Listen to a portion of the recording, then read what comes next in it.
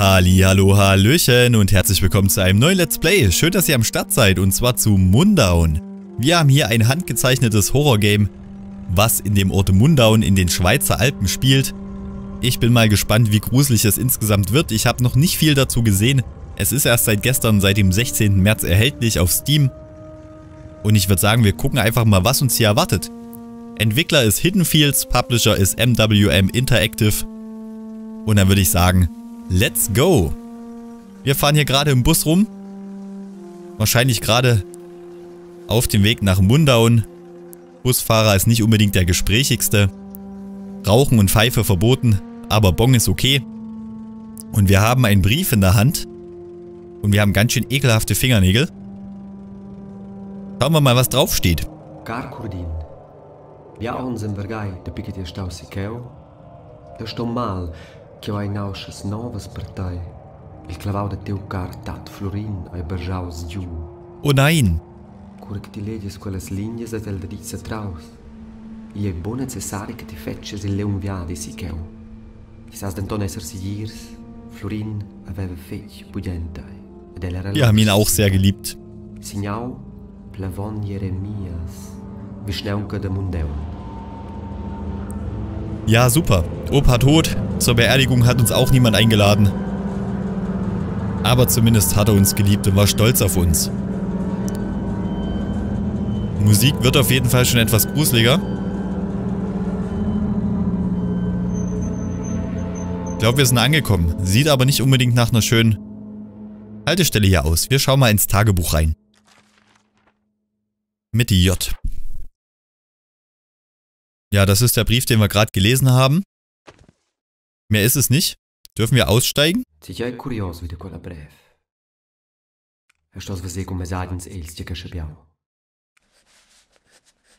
Abgebrannte Scheune untersuchen.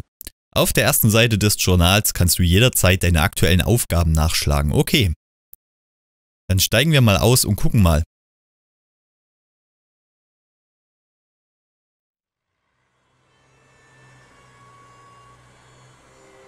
Der Bus fährt davon. Und wir haben unseren ersten Tag hoch oben im Gebirge.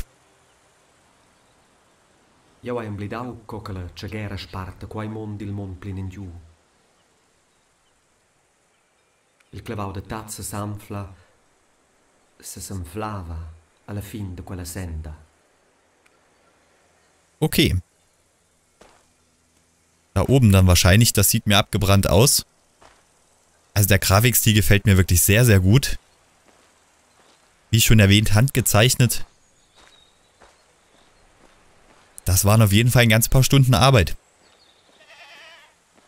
Ist auch erhältlich für fast alle Plattformen, also PC, Mac, Xbox, Playstation, jeweils 4 und 5 und auch die älteren Generationen der Xbox. Uah. Geht schon mal gut los. Ist denn das komisches? Darf ich rangehen oder passiert dann was? Bin jetzt einfach mal reingelaufen.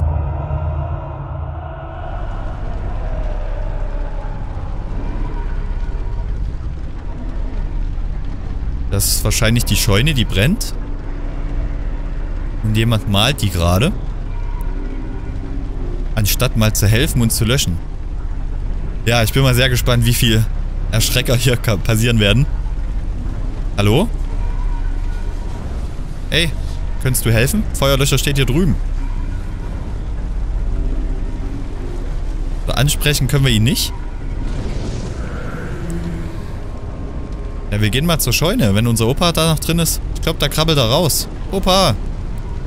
Komm her, ich helfe dir.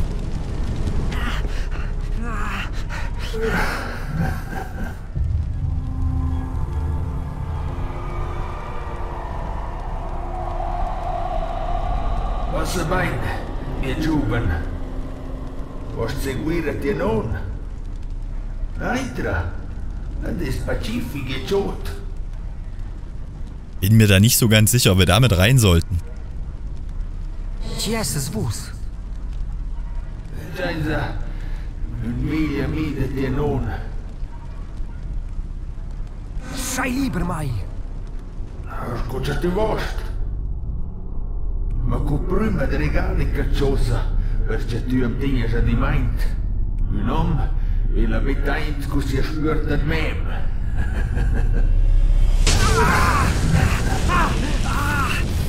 Au. Lass mich los.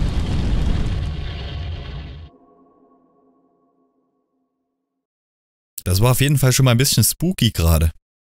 Den besten Zahnarzt hatte er auch nicht. Mal schauen, wie es weitergeht.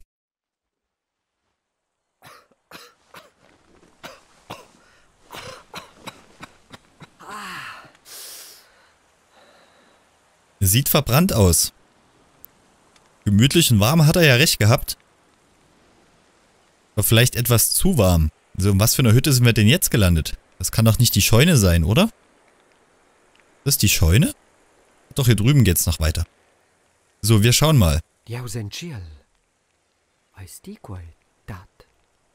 El sto ve sentiu que l'era sarà usen. Sesa simplement queu, a spetja sil fiuc. Traurig, traurig. Auch ein Bild von uns und unserem Opa. Si ci a spindrau quella del fiuc impegna. Dat sto ve mes liennela per chiu amfriella. Das stecken wir uns natürlich ein. Eine kleine Erinnerung. Kerze brennt immer noch. Hat wahrscheinlich nachträglich jemand hingestellt, sonst wäre sie geschmolzen. Ist halt nur die Frage, wie wir hier wieder rauskommen. Eine Tür... Ach doch. Die raucht man nachher am Bus. Einfach aus Protest. Tabak für die Pfeife finden. Optional. Kriegen wir hin. So, ja, aber wie kommen wir hier raus? Moment, irgendwas...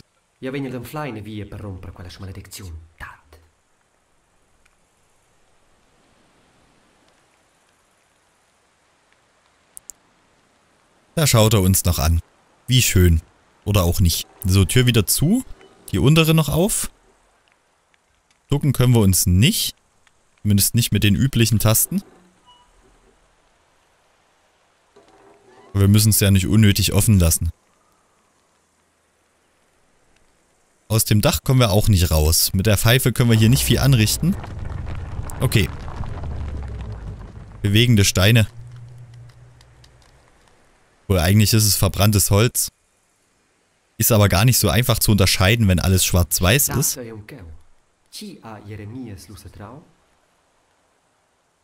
Ist denn hier eine Kuh noch gestorben?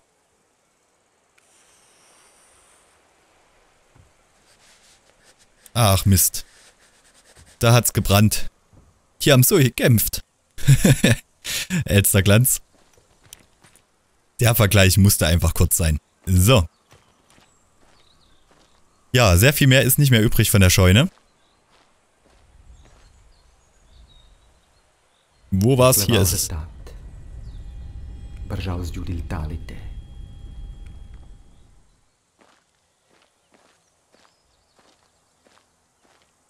Mal schauen, was sich dahinter noch verbirgt.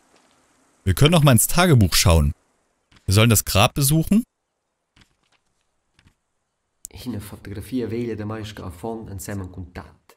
Ach, schaut mal, wie glücklich wir da waren.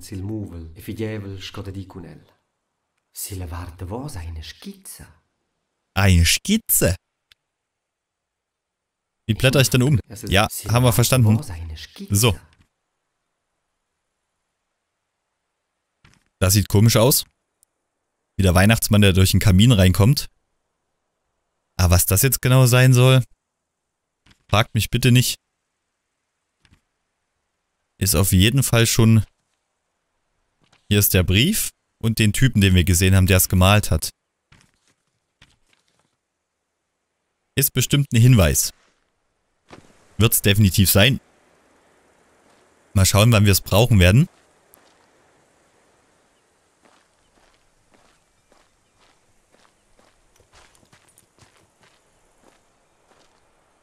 Gucken mal noch hier oben drauf. Vielleicht findet sich ja noch ein bisschen Tabak.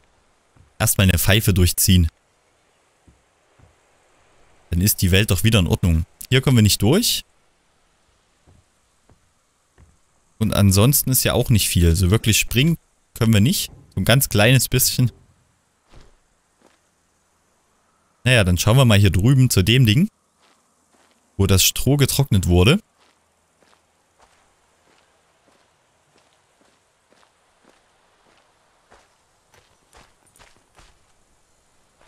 Aber auch hier gibt es erstmal soweit nichts zu sehen. Beziehungsweise nichts zum Interagieren. Was ist hier bloß passiert? Naja, wir sollen einerseits Pfeifentabak finden und andererseits das Grab vom Opa besuchen. Oh. Quella via meina alla casa veglia de Tat e della caplotta de Jeremias. Ja, ist ja super, aber ich denke mal, es wird hier rüber gezeigt haben. Da haben wir ein Häuschen.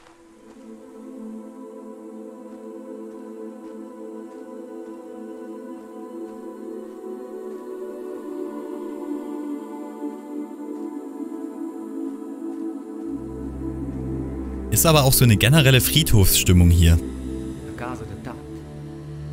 Con l'ugezia raccontava la dina amica che la sei divina costruita avon centenès. Rennen haben wir schon rausgefunden, aber danke, liebes Spiel, dass du es uns trotzdem nochmal erklärst.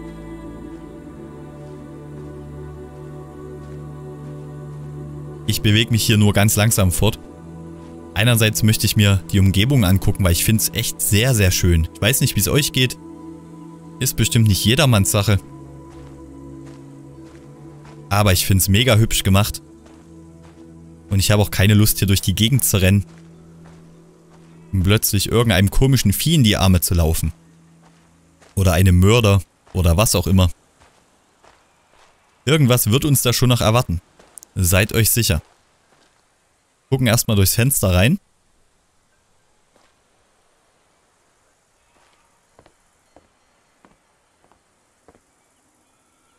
Wer weiß. Vielleicht haben wir einen Bruder, den wir noch nicht kennen der sich das Haus vorher schon geschnappt hat und jetzt nur darauf wartet, dass ich vorbeikomme. Um mich umzubringen, weil er das Erbe alleine will. Man weiß das alles nicht.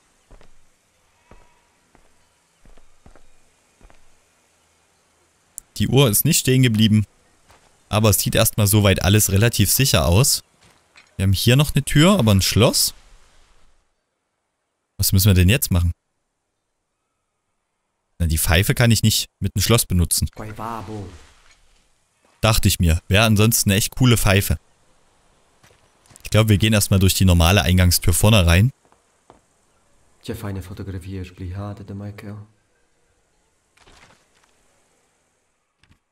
Da haben wir ein Foto von uns, zumindest hat der Nagel nicht im Kopf gesteckt. Das hätte mir dann doch noch mehr Angst gemacht. Hallo? Wackelampe, die Wackelampe doch, genau. Die Lampe.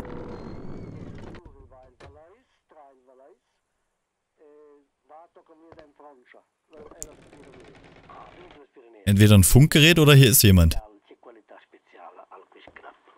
Radio.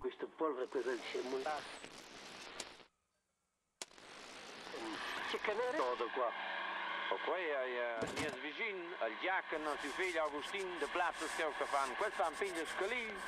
De plaats is... Quail ba de Dr. John. Den ist Professor Julo Scola Cantonala. Leider verstehe ich kein Wort, aber Kaffee machen könnten wir. Maximale Gesundheit erhöht. Kennen wir doch alles schon. Eine Skizze. Haben wir hier eine Tasse, die bräuchten wir für einen Kaffee. Hab echt Schiss dass hier auf einmal was kommt. Ja, hinsetzen bringt noch nichts. Wir bräuchten halt noch eine Kaffeemaschine. Platziere einen Gegenstand vom Inventar. Die Gegenstände, die du hier aufbewahrst. Shit, jetzt war es zu schnell weg. Werden wahrscheinlich nicht verschwinden. Das wird vermutlich unsere nächste oder unsere erste ja, Base, also unser Rückzugsort.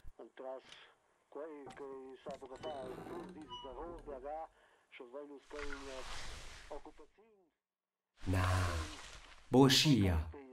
Geht nicht. Wenn, dann müsste die Pfanne ja oben drauf. Das wird gehen. Okay. Dann machen wir uns erstmal was zu essen. Hoffentlich ist nicht schon alles abgelaufen, was der hier im Haus hat. Aber ein Waschbecken habe ich noch nicht gesehen. Aber hier haben wir auf jeden Fall schon mal Streichhölzer.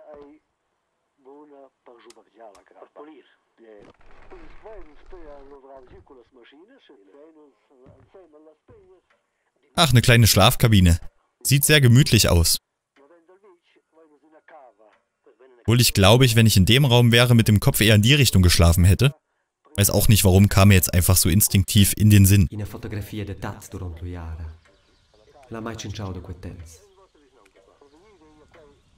Da saß er. Mit Gasmaske und Gewehr in den Alpen rum. Oh oh. Wer hängt sich denn so eine gruselige Uhr in sein Haus? Generell Uhren, die TikTok machen. Würde ich verrückt werden. Gibt's bei mir nicht sowas. Implacat per scurzalades de noc. Scurzalava la dine scibugliente las pleuncas del mundeu in giù.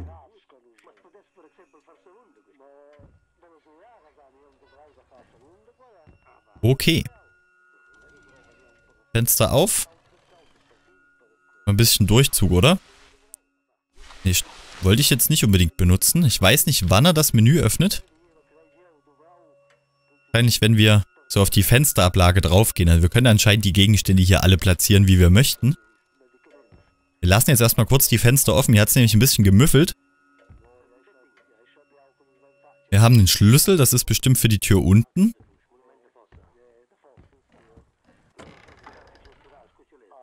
Nochmal Streichhölzer. Muss das Radio ausschalten, das nervt mich. Was haben wir denn das? Was ist das? Sagt mir das Spiel nicht. Inventar. Zeigst du mir an, was das ist? Soll das eine Zigarre darstellen? Ich weiß es nicht genau. Können wir das damit verwenden? Anscheinend auch nicht. Gut, wir machen jetzt erstmal das Radio aus und wir können nochmal gucken, aber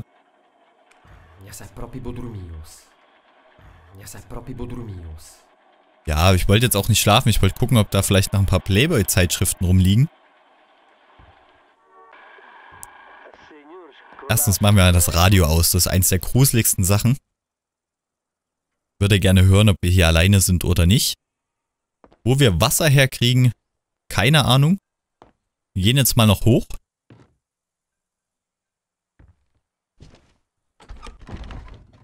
Oh oh. Dann ist es ja von innen verschlossen. Kein gutes Zeichen. Nein, ich wollte nicht. Achso, doch. Wir können vielleicht den Schlüssel benutzen. Den benutzen? Boa Geht anscheinend nicht.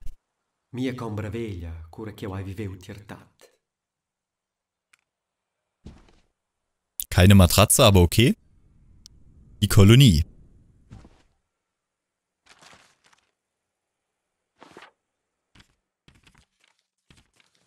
Wir schauen noch mal eben durchs Tagebuch. Aber sehr viel mehr ist nicht. Haben wir noch ein paar Stifte. Die darf ich nicht mitnehmen. Nö, ich kann mich hinsetzen. Aber die Stifte sind nicht für uns gedacht. Und die Figuren anscheinend leider auch nicht. Hätte gerne eine Runde mitgespielt. So, was haben wir denn hier alles? Wasser ist links. Honig gibt's rechts. Friedhof ist dort lang. Jetzt die Frage, ob die Richtung auch stimmen oder ob er die Dinger einfach nur abends auf dem Weg nach Hause im Vollsuff irgendwo mitgenommen hat. Aber das werden wir alles noch rausfinden. Dann allerdings erst in der nächsten Folge. 12 Uhr kommt jedes Mal eine Folge jeden Tag, also immer um 12. Und dann danke ich euch fürs Zuschauen. Morgen geht's weiter. Bis dahin, macht's gut.